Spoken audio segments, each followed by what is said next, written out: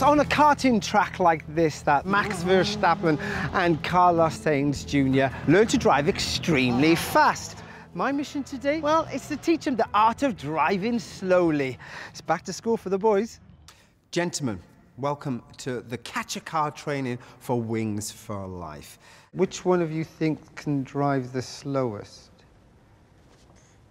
Let's look at the format of the race, shall we? We have the runners who will start. 30 minutes later, the catcher car sets off. The winner of the race is the person who is finally caught by the catcher car. That will be the end of the race. But the big question I say to you, can you perform by going slow? I am not very patient. The average speed is 15 kilometers an hour. Slow and steady wins this race. Go! Guys, guys, guys, slow down, slow down. That's much too fast. Slow, steady, slow. That is much better. Take your time. The thing is, when one is going fast, the other one will follow.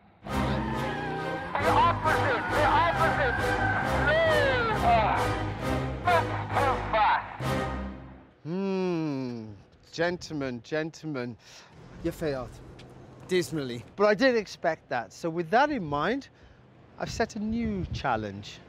These babies have a four-stroke V-twin motor. It has seven different trims and can hold a staggering 30 kilos of grass. And its speed, well, a beautiful 15 kilometers an hour. We're going to simulate the race, and I'm going to have a 30-minute head start, just like the actual run. Catch you if you can.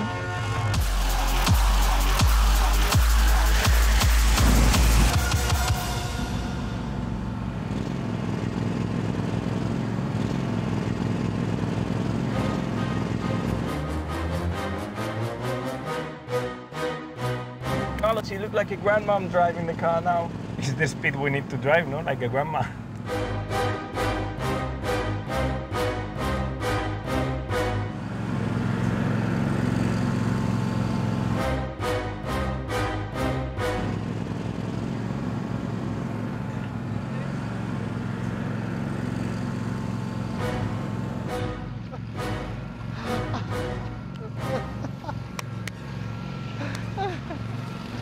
Well done, guys.